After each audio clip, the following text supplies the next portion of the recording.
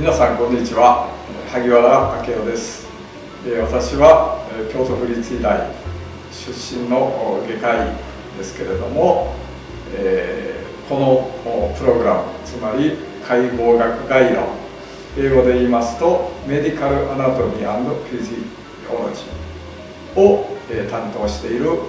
のです。このプログラムは日本では法律上これができるのは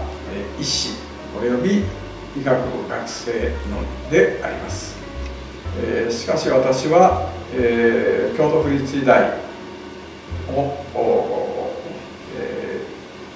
教員から、え同志社大学生命医科学部の教員として、え医学部でない生命医科学部に移りました。そこで、え同志社大学つまり医学部でない学生さん特に大学院生の方々にこういった生の解剖を、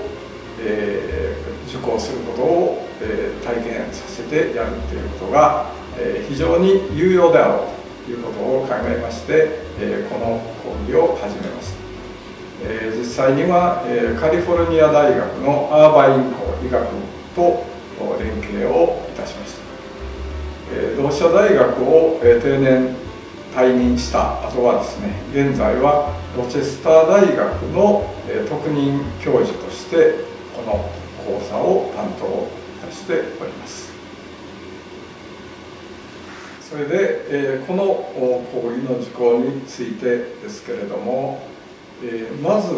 え米国カリフォルニアでの解剖実習に先立って日本国内で、準備講座を開催いたします。でこの準備講座の目的は米国カリフォルニアでの、え、解剖実習本番に、をより実り多いものにするというのが、え、その目的であります。ですからこの準備講座では解剖実習アメリカでの実習にキーとなる言葉を英語で覚えていただくということを重視してやっております。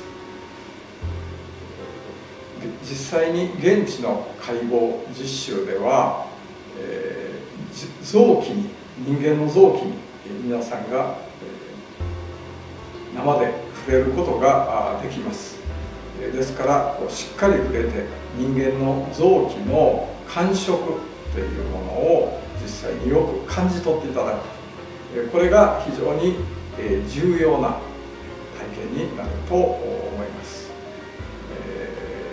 こういった体験こういった講義っていうのは先ほど申しましたように日本ではできない体験であります。ですから、えー、学生の皆さんにとってはですね将来の就職にも非常に有用役立つと思います、えー、実際に社会人として、えー、医療介護あるいは医療機器開発のような、